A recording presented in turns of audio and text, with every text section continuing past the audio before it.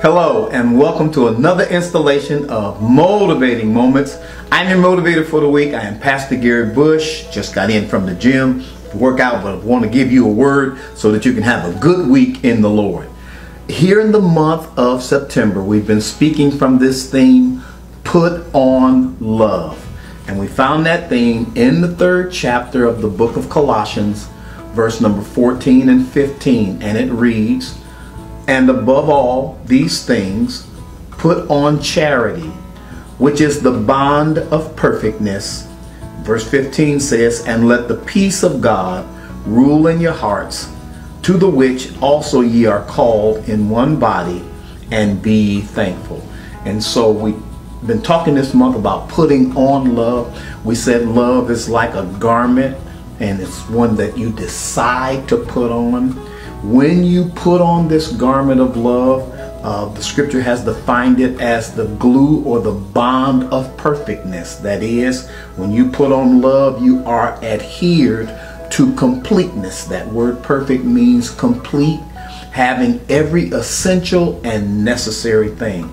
Pastor, why do we need every necessary thing? To stay at peace.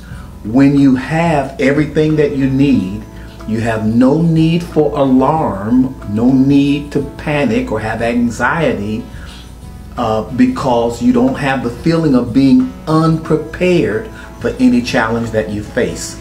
The love of God bonds the perfectness or the completeness of God to you, which entitles you. Which would you prefer? Both? Both. Both. Both. Is good. And enables you true. True. to have peace in every situation. Please disperse.